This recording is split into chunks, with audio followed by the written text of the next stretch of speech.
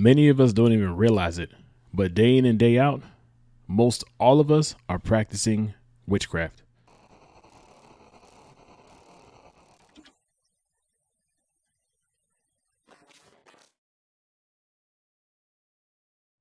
Welcome to Unifier TV, where truth has no fear. We do this every day.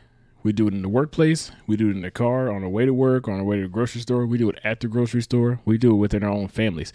We do it so much that it's like it's automatic now. And that is this thing of pra- practicing witchcraft. And a lot of you guys ain't gonna like that. A lot of you guys ain't gonna uh, ain't gonna agree with it, but we don't realize exactly what that means in different ways. People think witchcraft is just this thing where you're sitting down with this Ouija board or you're literally casting spells on people. It doesn't really require that all the time. Another form of witchcraft is what you speak over people, how you condemn people. And people think this is what Christians do. Oh, you know, you're not supposed to judge. You know, that one verse that people just happen to remember. They don't remember any other verse in the Bible, but that one part that says, Thou shalt not judge. Not, not even realizing that they take that verse out of context. Judging doesn't mean observing things that are wrong and calling it out, especially when you're using the word to do it. Judging means condemning damning someone to hell, damning someone to never to, to, to never make it, to never uh, be successful, to always be this and that. It's condemnation, and it's also witchcraft. So you have to know the difference. People practice witchcraft every day. All of us are guilty of it. We talk about someone when someone upsets us or hurts us. The, one of the first things we do is condemn them, and we we we speak witchcraft over them we say they're never going to make it. I hope this happens to them. I hope that happens to them that is demonic, is dark, and is very much evil. Yeah, it is human nature.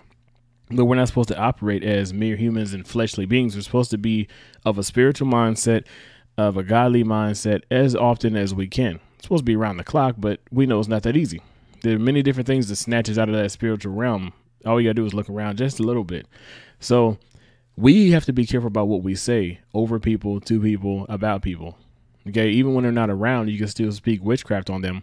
Especially, it happens a lot when someone hurts you, someone offends you, someone does something that is completely unwarranted, and and and they commit some kind of offense against you. One of the first things we do is start speaking witchcraft over them.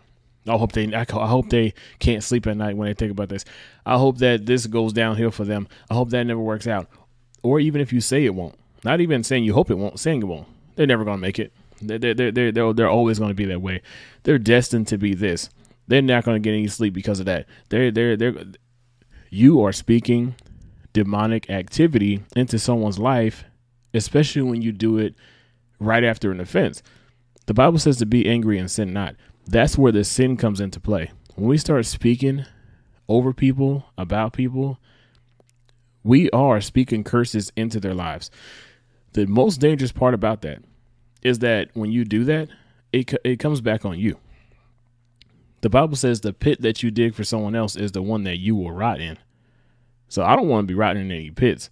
So this is something I check myself on every day.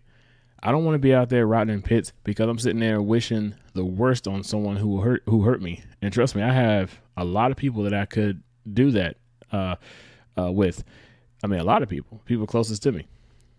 God's honest truth, I've never I've never done that to people closest to me. I've only done it to people that offend me in split second. I'm like, you know what? That's exactly why. And it's so easy. It's so easy, but somehow I'm able to check myself when it's someone I've known for a while. It's no better. You know, it, wrong is wrong. So my thing is like we have to make sure that we're keeping our anger in check, keeping our emotions in check, and making sure that we're not speaking evil onto someone that's going to come back on us. We can't do it at all, but it's definitely going to come back on us. So we are not gonna we're not we're never gonna be perfect. We're never gonna have it all together, but we do have to try, and we definitely, definitely, definitely have to watch our mouths.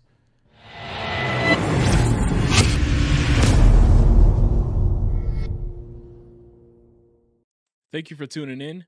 This has been brought to you by BioTrust. BioTrust plant protein and superfood protein mix is a game changer for me you got to check this stuff out. It works perfectly with your favorite drink. I personally like to mix it with water because of how rich it is. You can also mix it with milk. You can make a smoothie out of it, put it in a blender with some fruit. However, you want to do it, don't just take my word for it. You got to check it out for yourself. So click the link in the description and go ahead and give it a shot. You will not regret it. And don't forget, every order you place through BioTrust feeds a hungry child. So keep that in mind. While you're benefiting, the children are also benefiting.